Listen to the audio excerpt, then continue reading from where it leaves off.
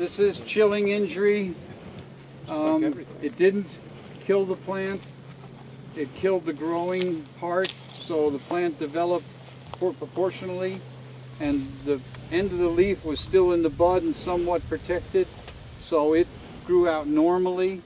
And this is typical of what we see is what I call tattered. Uh, on, on some oaks, they'll grow out normal, but they'll have these points like this as the terminal ends of the leaf. And occasionally, a, a symptom on certain plants is some little holes down here by the base of the leaf. And that's chilling injury or cold injury. It's not freeze injury. Freeze injury, we all know, soft spring growth just burns down and is blackened. But this type of thing, as you can see why I was freaking, we now have uh, glyphosate resistant products. We use gramoxone for kill down in the spring on neighboring farms. Gramoxone will go aerial and cause some problems on plants. The use of 2,4-D to get mare's tail and some of the other glyphosate resistant diseases, I mean weeds. And so these are products that are detrimental to ornamental plants. And so I always, whenever I see any sort of growth deformity, my immediate response is, oh my gosh, what have they done to me now? And, and I take it personally.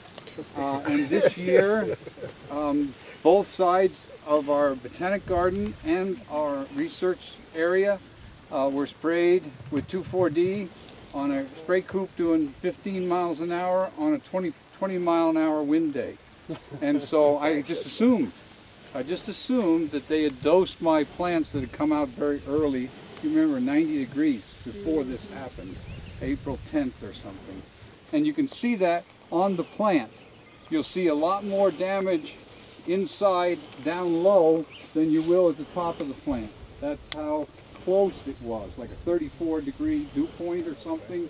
And so uh, in our growing area, we had red uh, black gums in a trial.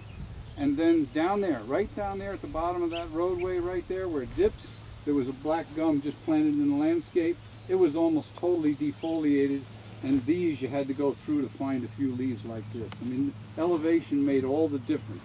And then, as you can see here, another telltale symptom of it, it's down in here from April 10th. And then the growth was somewhat stunted. So we have all new growth of normal growth, but it's not as much as what Kenton would have expected.